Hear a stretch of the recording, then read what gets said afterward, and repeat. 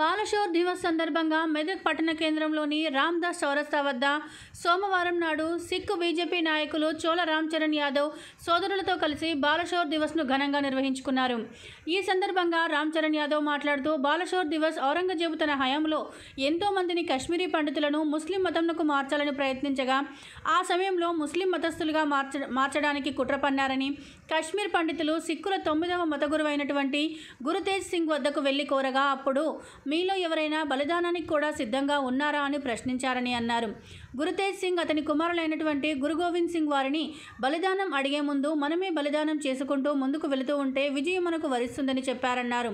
అక్కడి నుండి ప్రారంభమైనటువంటి ఔరంగజేబ్ మీదికి దండయాత్రను ప్రకటించారు. ఆ విధంగా మతం మారకుండా అందరినీ కాపాడుకుంటూ వచ్చారన్నారు. ఒకనొక సమయంలో గురు గోవింద్ సింగ్ కుమారులైనటువంటి బాలురు ఈ దేశం కోసం ప్రాణాలు అర్పించారని కొనియాడారు. సాహిబ్ జాదే జోవర్ సింగ్ సాహిబ్ జా ఫతే సింగ్లను స్మరిస్తూ డిసెంబర్ ఇరవై ఆరవ తేదీన ఆ వీర్ బాలస్ దివస్ నిర్వహించుకుంటున్నామన్నారు.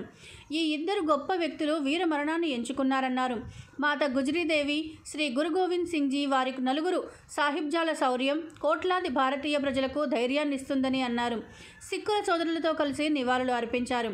ఈ కార్యక్రమంలో సిక్కు సోదరులతో పాటు జిల్లా బీజేపీ మాజీ అధ్యక్షుడు Ramcharan Yadav Medak market committee chairman Bhatti Jagapati తదితరులు పాల్గొన్నారు.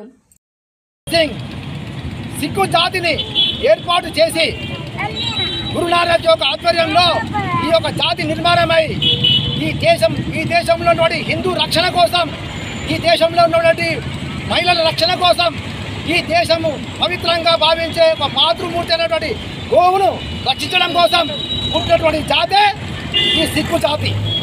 ఈ సిక్కు జాతి గురు గురునానక్ మొదలు పెడితే గురు గోవింద్ సింగ్ వరకు కూడా వాళ్ళ యొక్క పూర్తి ఆ గురువులందరూ కూడా ఈ యొక్క దేశ రక్షణ కోసం బలిదానం చేసినటువంటి మహాపురుషులు మహాత్యాగులు మాత్రమే.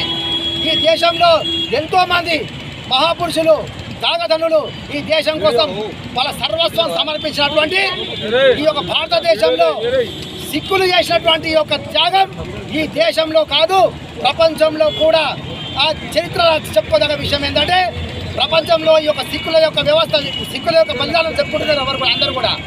కాబట్టి మనం ఈరోజు గురు గోవింద్ సింగ్ కొడుకు పుట్టినటువంటి జోరావర్ సింగ్ ఫతేహ్ సింగ్ యొక్క బలిదానాన్ని ఈరోజు ఈ యొక్క మెదక్ పట్టణమే కాదు ఈ యావత్ జాతి కూడా ఈరోజు స్మరించుకోవాల్సిన అవసరం ఉంది. ఎందుకంటే గురు గోవింద్ సింగ్ గురు తేజ్ బహదూర్ దగ్గరికి కాశ్మీర్ యొక్క గుంపు వస్తుంది. కాశ్మీర్ పండితులు వస్తారు. వచ్చి అయ్యా కాశ్మీర్లో ఔరంగజేబ్ యొక్క అకృత్యాలు ఎక్కువైతున్నాయి దుర్మార్గాలు ఎక్కువైతున్నాయి బలవంతంగా మత మార్పులు చేస్తున్నారు. కాబట్టి మమ్మల్ని రక్షించే బాధ్యత నీదే అంటారు. అన్నప్పుడు అప్పుడు గురు బహదూర్ ఏం చెప్తాడంటే మీ దాంట్లో ఎవరైనా బలిదానం చేసే వాళ్ళు ఉంటే నా ముందుకు రండి అంటాడు.